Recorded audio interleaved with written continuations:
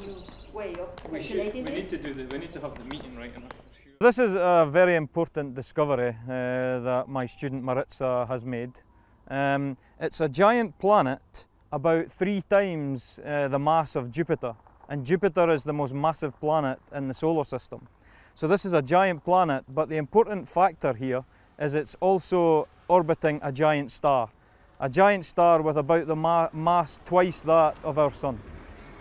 So we need to understand these giant planets uh, in order to understand how they form. We need to, we need to discover them uh, around all types of stars. Stars like the Sun, stars with uh, much smaller than the Sun, and stars much more massive or much uh, bigger than the Sun. And this is what we have done today.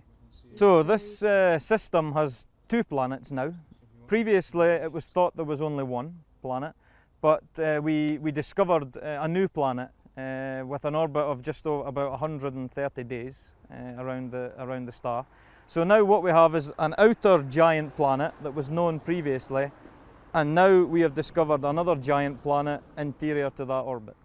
I mean, are you sure all, all of them are outside of the range? Sueña con poder hacer un descubrimiento concreto a la ciencia y saber que descubrió un planeta, uno más ahí que está en los registros, fue muy importante personalmente.